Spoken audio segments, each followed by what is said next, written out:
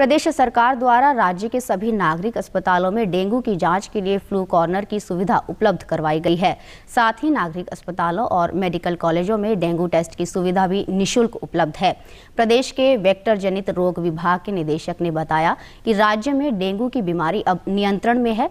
प्रदेश में इस वर्ष डेंगू से 4,115 लोग प्रभावित हुए हैं और 10 लोगों की मौत हुई है।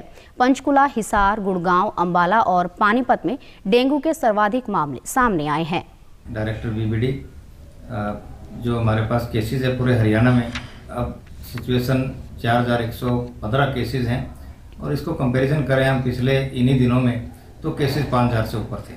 तो स्थिति हरियाणा में as far as dengue is concern under control है और क्योंकि सिचुएशन को पूरा हरियाणा में एनालिसिस करते हैं तो सिर्फ़ पाँच ज़िले ऐसे हैं जिनके अंदर केसेस की अधिकता रही है, जिसमें प्राइमरली हमारा पंचकूला है।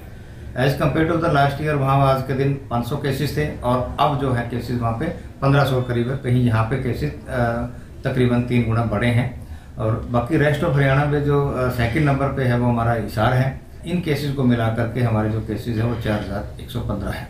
आज का डाटा अगर कन्फर्मेटरी हम देखें तो पूरे हरियाणा में हमारे पास 10 डेथ है आज की तारीख में। निदेशक ने बताया कि डेंगू बीमारी में पहला लक्षण बुखार है, इसलिए किसी भी प्रकार का बुखार आने के बाद चिकित्सक से अवश्य संपर्क करें। जहाँ भी पानी एकत्रित होता है, उसे सप्ताह में कम से कम एक बार साफ़ करें।